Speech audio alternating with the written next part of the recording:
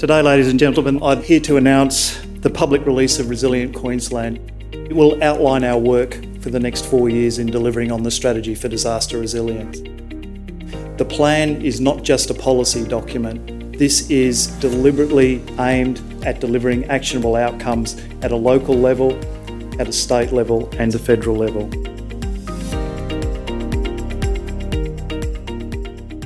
I commend to you the next session, which will be the team sharing with you about how Resilient Queensland actually looks on the ground and the process that they went through.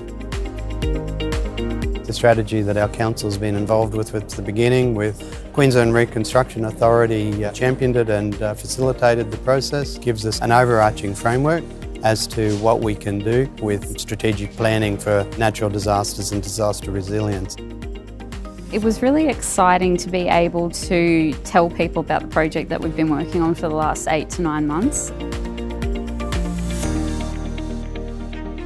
We undertook quite a comprehensive stakeholder engagement process. I think we engaged with about 22 stakeholder groups across the catchment. We drove almost 8,000 kilometres. We had almost 70 workshop attendees over 10 different workshops and we looked at things like resilient societies, resilient economy, infrastructure, the built environment.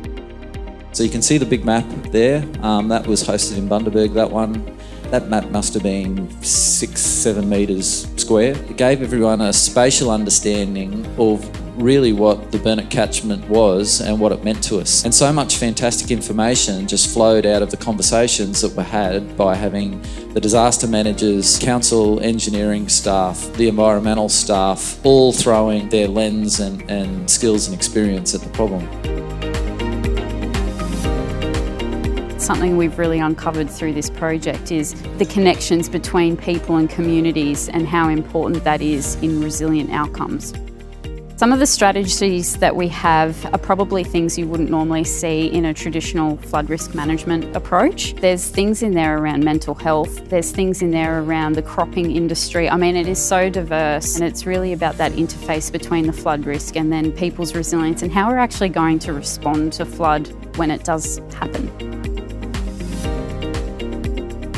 We wouldn't have had the internal resources to produce the document. We've ended up with an extremely good strategic document that our councils in our region can use going forward. I think at the start of the Burnett process, we didn't know where it was going to go.